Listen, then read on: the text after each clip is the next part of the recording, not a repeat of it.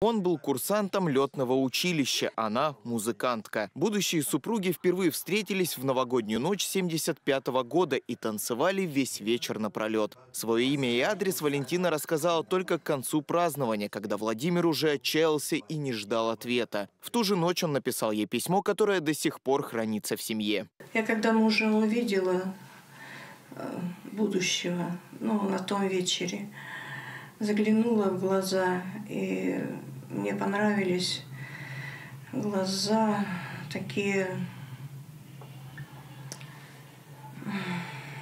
непохотливые, э, серьезный взгляд – серьезными намерениями. Спустя год они поженились, о большой семье не мечтали. Первые два ребенка трагически погибли из-за болезни. Тарасенко решили, сколько Бог даст детей, столько и будет. Сейчас у них пятеро, все музыканты в маму.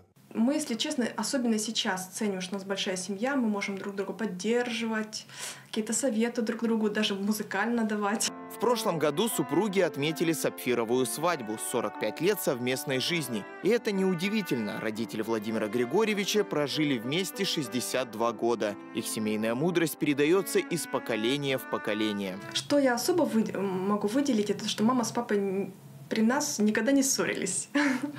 Что ну, мы не слышали никакой ругани. А, всегда Папа был самый лучший, мама самая красивая. Владимир и Валентина Тарасенко уверены, уважать, беречь, уступать – это далеко не все, что нужно, чтобы сохранить семью. Любовь – это когда я не вижу ничего плохого. Вот. Когда я стараюсь замечать только хорошее. Вот. Э, и это у меня, наверное, было с самого начала, когда вот я увидел Валентину Васильевну. Все прекрасно, все совершенно. И если кто-то что-то говорит на нее плохо, берегись. Я бывший боксер. Сегодня супругов наградят медалью за любовь и верность в честь одноименного праздника. Тарасенко обязательно отметят это событие. По-семейному, с чаем и тортом в кругу самых близких. Вадим Слюсарев, Евгения Величкина, Роман Хайрулин. Новости.